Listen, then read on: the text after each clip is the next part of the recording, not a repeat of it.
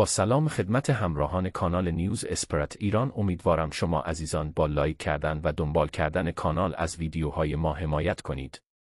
خبر خوش درویش به پرسپولیسی ها مدیر عامل پرسپولیس از حل مشکل این تیم طی 48 ساعت آتی خبر داد. در خبر خوش درویش به پرسپولیسی ها پرسپولیس در شرایطی نیم فصل دوم را استارت زد که نتونست از بازیکنان جدید خود برابر آلومینیوم اراک سود ببره.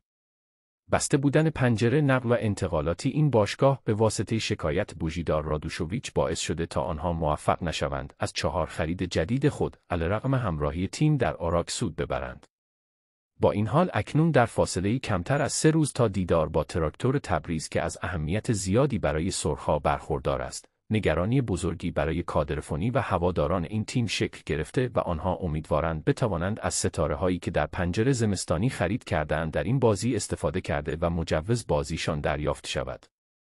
رضا درویش مدیر عامل پرسپولیس با اشاره به تلاش شبانه روزی این باشگاه برای حل این مانع به خبرنگار ما گفت این موضوع را از هفته پیش دنبال کردیم. متاسفانه اقداماتی صورت می‌گیرد که برای خودمان هم عجیب است. با این حال از تمام توان خودمان برای حل این مشکل سود بردهاییم و رایزنی لازم رو در این رابطه داشتهاییم و قرار است طی فردا این مشکل حل شود. وی ادامه داد. ما حتی نامه ها و مستندات لازم را به فیفا هم ارسال کرده ایم و به این موضوع اشاره کردیم که مفاسا حساب مربوط به بوژیدار مشابه روالی است که پیش از این در خصوص برانکو هم دنبال کردیم و حل شده بود.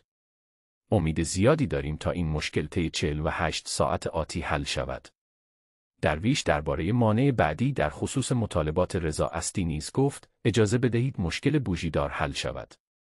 قطعا مشکلی در اون قسمت نخواهیم داشت و اون موضوع حل شدنی است و برای دیدار با تراکتور قادر خواهیم بود با صلاح دید کادرفنی از بازیکنان جدید استفاده کنیم.